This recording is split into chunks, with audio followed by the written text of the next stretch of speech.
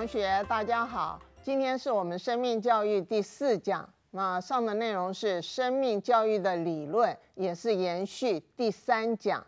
那首先介绍我们今天的主要内容，包含了单元目标、压力理论与生命教育、伦理理论与生命教育，以及道德理论与生命教育。那接着就看我们今天的单元目标。我们这一讲结束之后，希望同学能够了解呃压力的意义与起源。再来呢，希望能够说出压力源的分类、适应与因应，说出伦理的意义。还有，希望同学能够解释生命伦理学的后设伦理，也就是理论伦理学。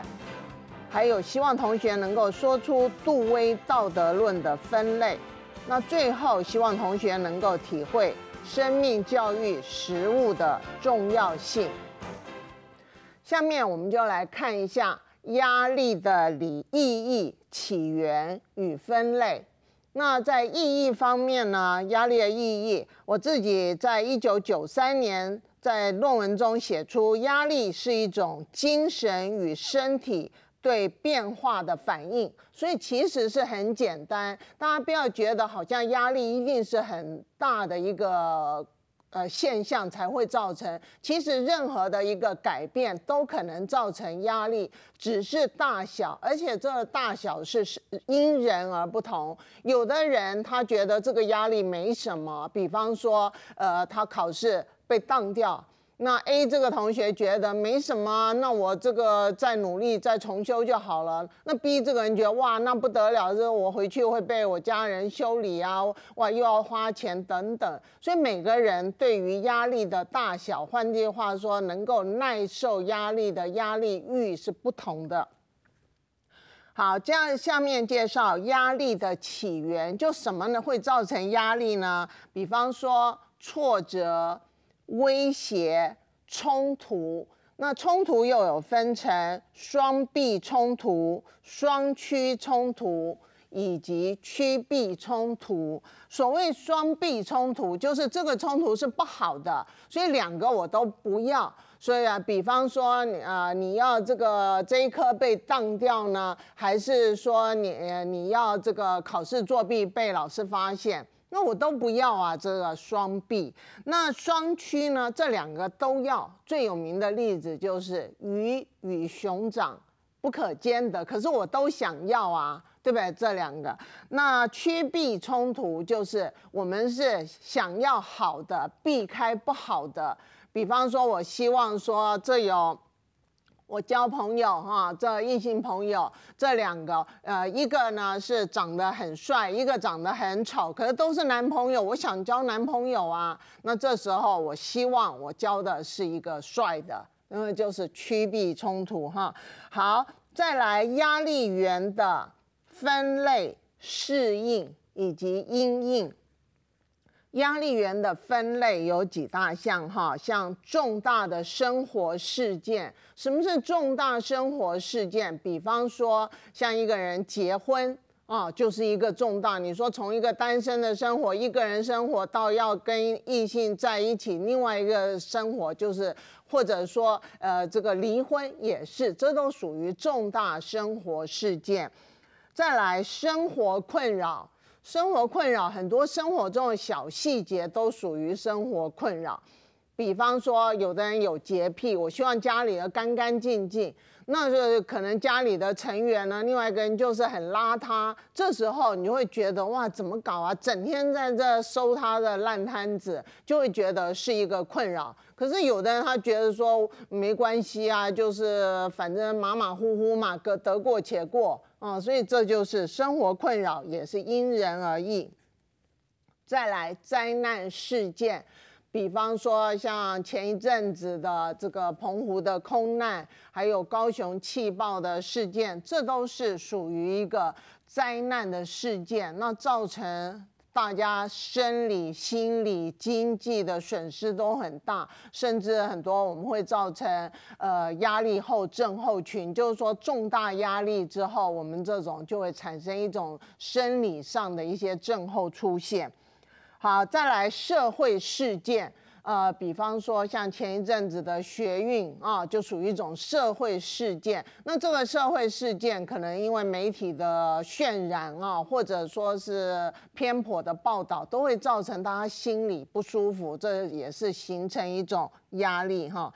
最后，当然心理困扰，每个人都会有心理困扰。比方说，两个是好朋友，诶，大家本来都很好，可是一起出国旅行，就发现哇，原来有很多是自己不知道的。他那这样会让自己觉得，诶，他怎么会这样啊？这就是一种呃，我们心理的困扰。可是我们是好朋友啊，那就忍耐吧。下面再介绍身体对压力适应的阶段。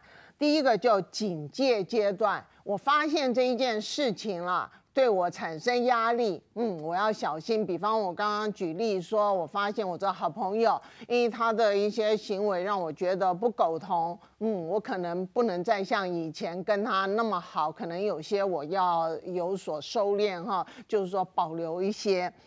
再下来抵抗阶段。那我发现他有这些情形，结果发现他也没有改，那会影响到我，因为我们俩在一起，人家会认为我是不是也是一样的有这种的行为、这种看法呢？所以这抵抗，也许我就开始慢慢跟他疏远哈。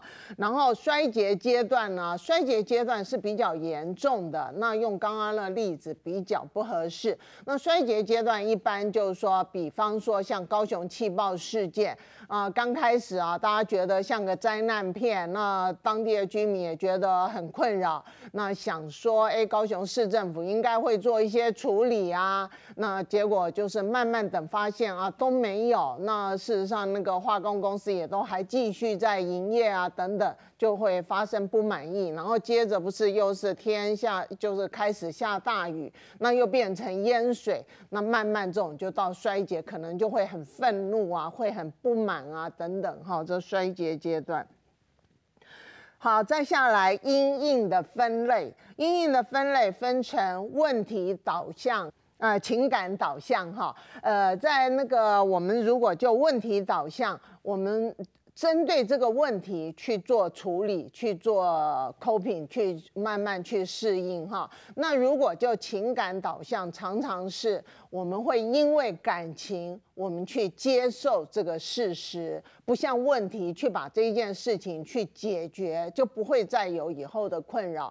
所以老师比较不赞成用情感导向，因为情感导向往往会留下后遗症，一次、两次、三次，最后就。爆发了，所以最好是针对问题导向把它解决，但是我们注意自己的态度去做一个彻底的解决。好，应应的方式有很多种，比方说放松自我、规律的运动啊，向人倾诉、自我的控制、调整步调、安排生活，最后当然没有，实在没办法，我们就要去就医。那其实哈，希望大家都能够面对自己的状况，就医其实不可耻。可是有的人就觉得啊，我去看好像精神科，我就是有精神病，很多是一些心理困扰。有时候跟精神科医生谈一谈等等，把那个症结找出来就解决，就很简单，连药都不用吃的。那不必有这种哈，我觉得其他人也不应该有这种不正确的看法。所以说，朋友。如果有这种情形，是可以鼓励他。当然，我们自己有这种情形，实在没有办法处理的时候去就医。不过，老师比较建议同学。不要忽视一些小的问题，针对这个问题，就像老师刚刚所提过，去把它面对这个问题去解决，否则的话，累积常常是不好的，就会最后就你只好走到就医一途。好，所以不要就是啊，算了算了，就是这样哈，这种那个消极的态度是不合适的。下面跟同学介绍伦理的意义。伦理是指人与人之间行为的准绳或者是规范。哦，这个是我想大家都能够体会。那生命伦理学的后设伦理，它包含了内涵是什么呢？第一个是原则主义，就是自律原则、不伤害原则、失义原则以及正义原则这四个生命伦理的原则，我们分别介绍一下。第一个是自律原则啊，这常常在我们医疗界哈就有，就是知情同意。换句话说，我这比方说我罹患了癌症，那这时候呢，应该医疗界的就医护人员要让我知道我得的是什么病。同时呢，呃，我比方说我要接受放射线治疗，还是化学治疗，或者其他的合并，甚至手术治疗等等。那我知道，而且我要同意，我要写同意书。这个是我们所说的自律原则，自己一定要。同意这一件事情，不是说医生说什么啊就立刻要做，我们自己可以考虑。所以，我们常常在医疗界是讲，希望能够 second opinion，就第二个意见。你不要说啊，这个医生，比方说他说你这个病啊，立刻就要，比方说呃那个乳癌，他就说你立刻要整个乳房切掉。可是事实上呢，有的时候我们可以去第二家医院再做一些检查，说不定可以发现不必要整个，因为常常整个乳房切掉会造成一些心理的哈 body image 的改变，那会影响你的心理，甚至造成一些很多的后遗症哦。这不是好看的问题，常常是人心理，有的人就特别在意这些事哈。好，再来不伤害原则，比方说像预立遗嘱，预立遗嘱是很重要的。呃，我们如果能够预立遗嘱，可以就是说，比方说，万一真的有什么临时发生什么大事件的时候，我不会有一些遗憾，因为你这时候你没有办法去处理，家人也不知道。老师举一个例子啊，比方说，老师第一次出国念书的时候。那第一堂课刚好就上 ethic 上伦理，结果老师看啊，这个教授看到我是亚洲人，就跟我讲哈，有没有预立遗嘱？因为遗嘱的英文是 will，w i l l，好像那个将要那个哈。那我想怎么可能呢？他怎么可能叫我问我什么预立立遗嘱？我一定听错了。我就摇摇头，不知道嘛，就摇摇头。那那个教授就觉得很可怕。你既然搭飞机搭这么远，你怎么可能没有立遗嘱？不过我也确实那个时候没有立遗嘱。后来在那边念书之后，才发现西方社会他们是很早，他们成年之后，家里的人就会让他立下这个位啊，预立遗嘱，因为这。呃，不一定是财产的问题，很多是你因为预立遗嘱，你可以及早做一些准备。呃，比方说像我上研究所课程，我有要学生写预立遗嘱，结果他们都发现他们有很多想做该做的事情都还没做，然后赶快去做，这就是预立遗嘱的功能之一哈。好。第三个是失意原则，失意原则就是消极的不伤害，那积极呢就是失意，就给他等于一些正向，但是不应该沦于家长主义。这也是常常见到朋友之间也是常常会有这样，比方说一对夫妻哈，先生常常会就是排便有异常，就是解不出便，也就我们通常所说的便秘。那这个太太呢，常常就是啊，我帮他按摩腹部啊等等。那朋友这样，比方说这个另外一个朋友就说，哎，你怎么可以这样子啊？你应该要到健健 gym 去啊，到健身房去做运动啊等等。那这太太说：“我他我先生身体不好，不可能去做那边做运动。”那这个朋友就一直要求他去做，这最后两个翻脸，这就是《论语》家长式的。常常很多人说：“不行，你一定要这样做。”最后人家就算接受也是勉强接受，这一次接受以后不接受，所以不要沦于家长式的这种强迫哈。再下来，正义原则，这关系到基本的权利，比方说健保基本费率的上限哈，还有官说的文化。这基本费率现在是有做一些调整，过去是没有，我们就觉得很多人他赚很多钱，结果呢，他的鉴保费率就是最高，呃，比方说就是到四万多，我们就觉得这怎么可以？那现在慢慢在有调整，好，这就是说属于正义原则。好，第二个介绍的是脉络主义，那这是要依个别差异来诠释这个脉络主义。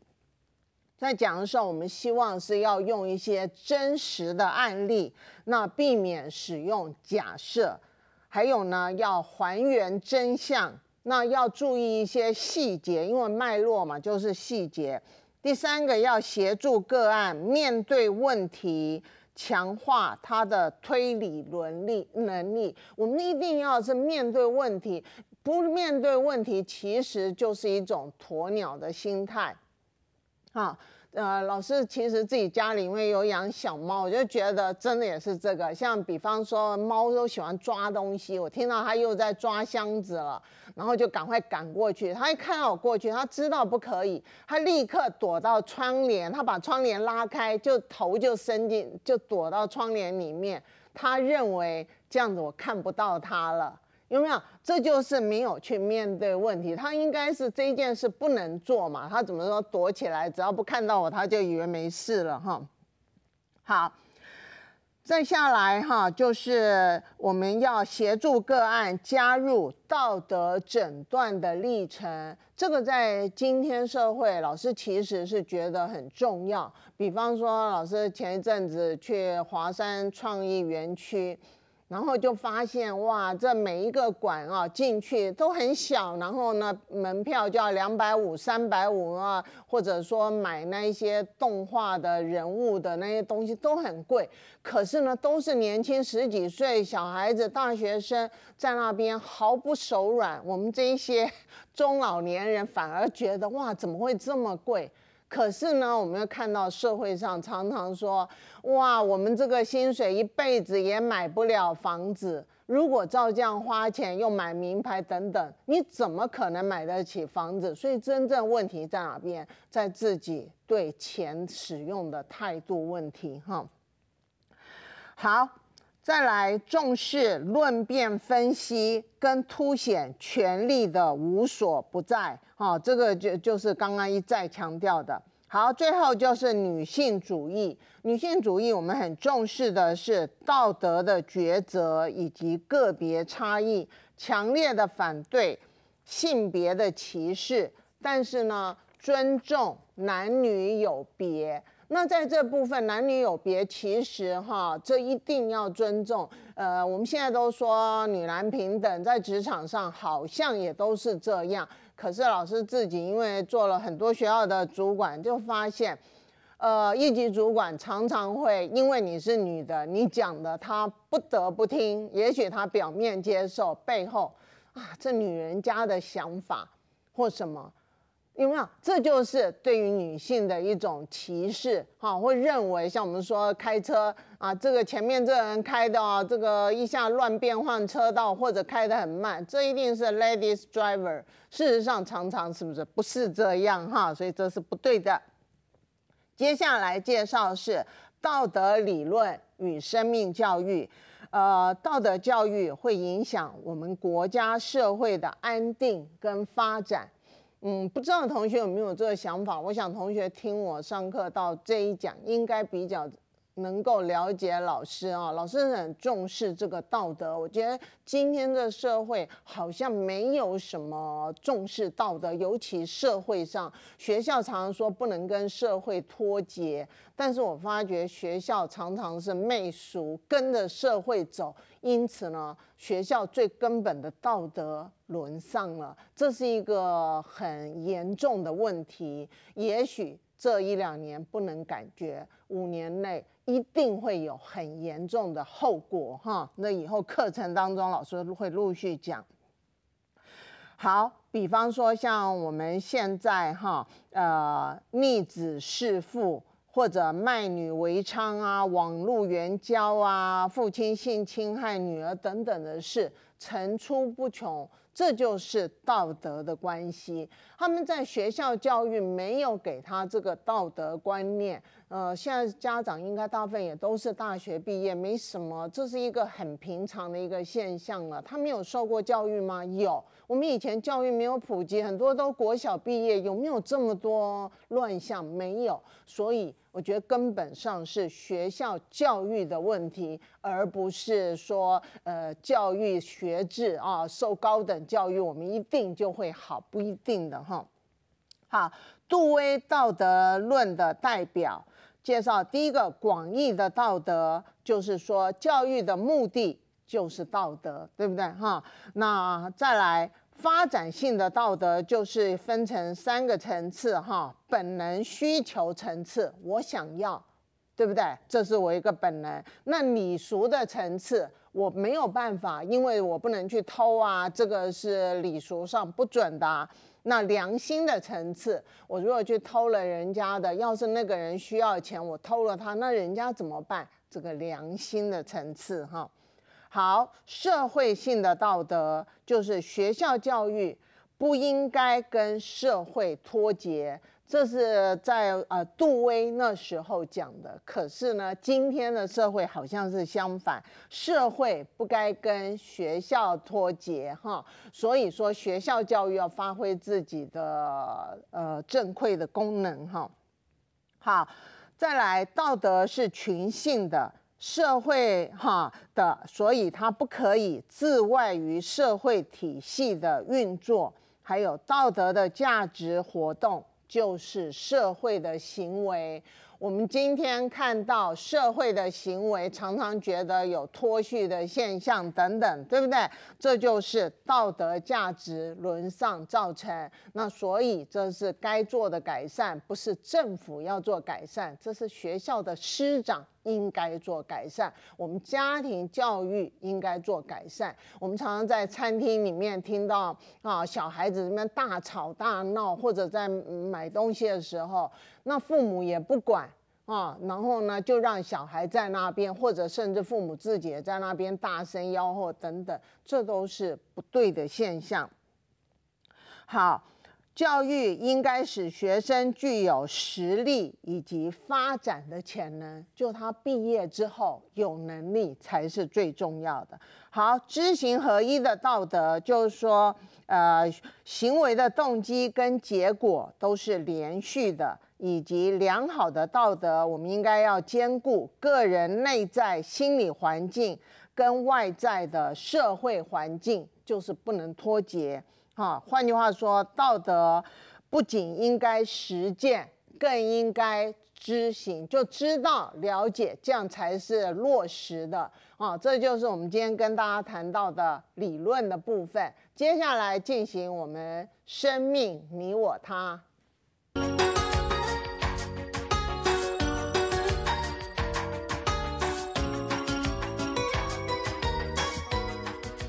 今天生命你我他讨论的是学校、职场与道德教育面面观。我们先介绍老师旁边这位美少女哈，我们前同仁医院的副院长杨副院长杨桂凤。好，杨老师好。好，很高兴今天要跟大家讨论生命你我他的道德教育的案例。好。那在这个部分哈，老师先讲一个，就因为老师自己是在学校，那在学校的时候，就是有跟一些大的企业，就是说希望我们毕业生能够让他们到职场上去。那人家企业界也希望要好的学生，又不只有你们这个学校。所以呢，我自己的做法，我虽然是校长，但是呢，我把有兴趣报名的同学集合，事先集训，就是告诉他们一些基本的礼仪、应对进退等等。也许的同学觉得哇，谁不知道都知道，那就错了。年轻的孩子觉得这有什么关系啊？我刚毕业，薪水大概这个也好是还不错啦，但是也好不到哪里去。我也是这个基层做起啊，所以也没什么了不起。但是你给人的第一印象是很重要的。如果你第一印象是不好，就算学校强力推荐你去了，未来你的发展也会受影响。所以这是有相关的。那今天会有一些实际的案例哈，无论是正向、负向，我们请杨老师跟同学来分享一下。好，各位同学，大家好。我们今天要分享的是道德教育的一个案例。那学校教育、养成教育也是很重要。那我们有两个案例跟大家来分享一下。就是在日前的时候，有一个国二的男学生在下课的时候呢，他在走廊大声的喧哗，然后呢就用脏话辱骂老师。这个时候有个女老师就制止了他。没有想到呢，他竟然出手去扯了老师的头发，而且把他推倒，导致老师的头颈部是受伤的。那这个家长呢，就为了袒护这个小朋友。就反而指控说这个是女老师先打的这个小孩子。那事实上，这个学生一直长期也有嚼槟榔啊、吸烟一些偏差行为的问题，也让校方非常非常的头痛。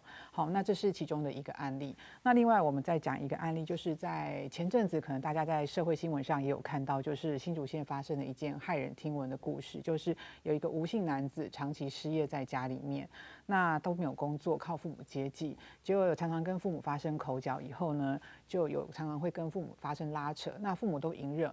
都没有哎报警啊，也没有在呃管教他。后来有一天呢，就是因为他喝了点酒，结果呢跟老父起了争执，结果就拿锤头打死了老父。饭后以后呢，就竟然还是说他并没有做错任何的事情。那这两件案例就让我们发现到说，其实家庭教育在道德教育上面的重要性，这样子，对，大概是这个部分。